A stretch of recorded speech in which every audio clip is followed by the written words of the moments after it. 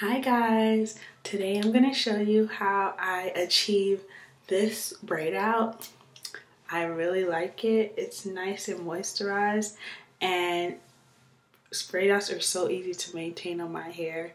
So just wanted to give you guys a good um, braid out tutorial for fine hair. Well, fine dense hair, but all you ladies out there with fine hair, I got you. To show you, I had my hair under my bonnet. Um, I had originally a wash and go that I'll show you guys how I do that in another video. But um, yeah, so the wash and go is done and I had did like a quick twist out last night just to um, moisturize my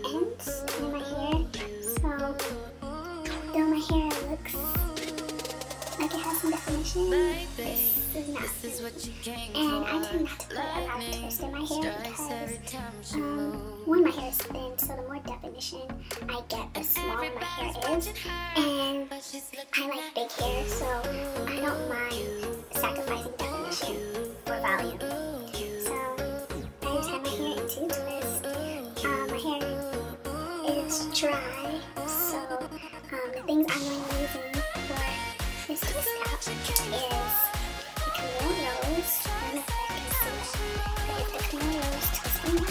Almond jai. Um, I've heard really good things about Camille Rose, and is the first item I've purchased from them.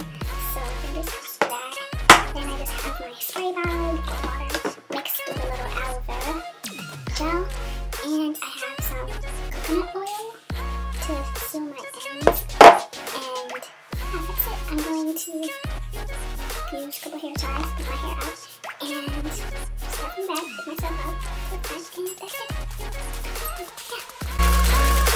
Thank you.